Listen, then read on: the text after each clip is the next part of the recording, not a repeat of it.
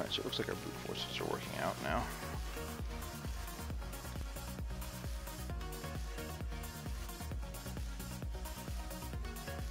Um,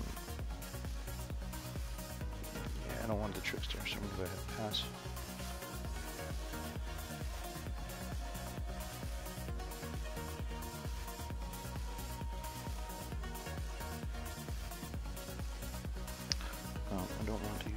Right now, so I'm just gonna put Abysmal in. I'm gonna bump the Abysmal to the top slot because it's Soul Ranger.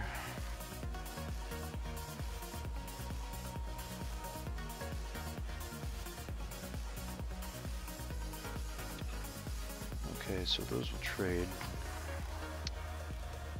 Use the dirty fuel, so I'm gonna bounce it, put it on top of his deck.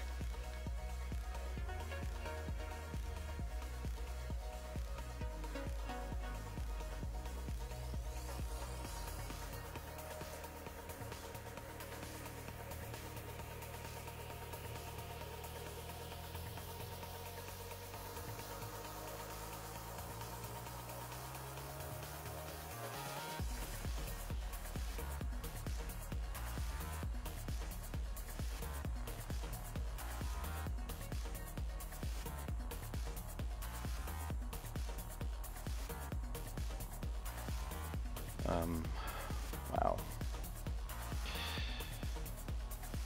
So yeah.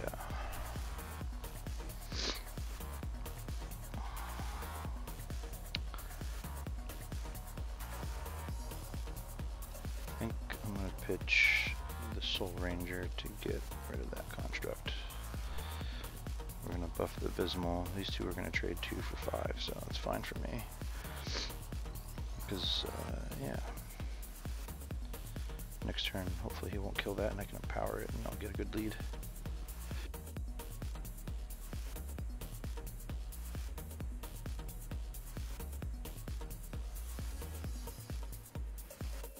And that's game.